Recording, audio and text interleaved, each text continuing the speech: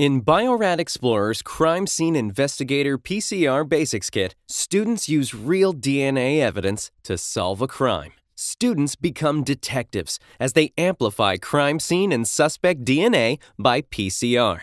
Using the same statistical approach as the FBI, they determine who was at the crime scene.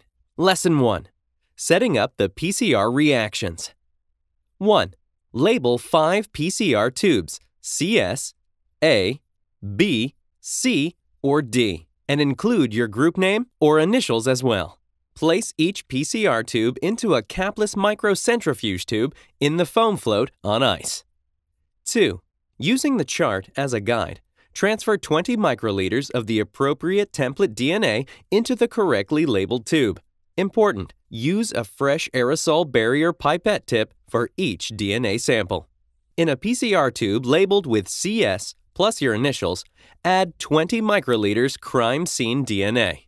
In a PCR tube labeled A plus your initials, add 20 microliters suspect A DNA. In a PCR tube labeled B plus your initials, add 20 microliters suspect B DNA. In a PCR tube labeled C plus your initials, add 20 microliters suspect C DNA. In a PCR tube labeled D plus your initials, add 20 microliters suspect D DNA. 3. Transfer 20 microliters of the blue MMP, Master Mix Plus primers, into each of the five PCR tubes containing template DNA. After adding the MMP, gently pipette up and down to mix the blue MMP and DNA.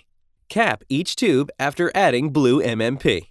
Important, use a fresh aerosol barrier pipette tip each time. Immediately cap each tube after adding MMP. 4. Place your capped PCR tubes in their adapters on ice.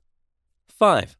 When instructed to do so, place your tubes in the thermal cycler. Your instructor will program the thermal cycler for PCR. 6. Upon completion of thermal cycling, store samples in refrigerator until next lesson, or proceed to step 1 of Lesson 2. Lesson 2 Electrophoresis of PCR products. 1. Set up your gel electrophoresis equipment as instructed. 2. Obtain your 5 PCR tubes from the previous lesson. Place your PCR tubes in capless tubes and pulse spin in a balanced microcentrifuge for a few seconds to collect all liquid to the bottom of the tube. 3. Using a fresh tip each time, transfer 10 microliters of orange G loading dye from the tube labeled LD into each of your PCR tubes. Pipette up and down to mix the contents of each tube. When finished adding loading dye to all tubes, place them into capless tubes and pulse spin in a balanced microcentrifuge to collect liquid in the bottom of the tube. 4. Place an agarose gel in the electrophoresis apparatus. Check that the wells of the agarose gel are near the black negative electrode and the base of the gel is near the red positive electrode. 5. Fill the electrophoresis chamber with enough 1x TAE buffer to cover the gel. This will require approximately 275 milliliters of 1x TAE buffer. 6. Using a clean tip for each sample, load 20 microliters of the samples into 6 wells of the gel in the following order. Lane 1, allele ladder. Lane 2, crime scene. Lane 3, suspect A. Lane 4, suspect B. Lane 5, suspect C. Lane 6, suspect D. 7.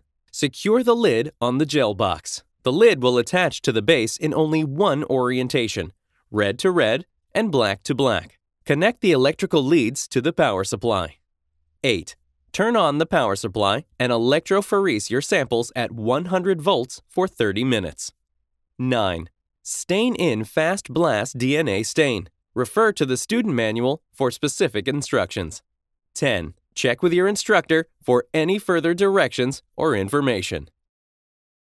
Subscribe to the Biorad Explorer channel and you'll discover enriching and fun biology and life science videos. Watch what you'll explore. Subscribe now.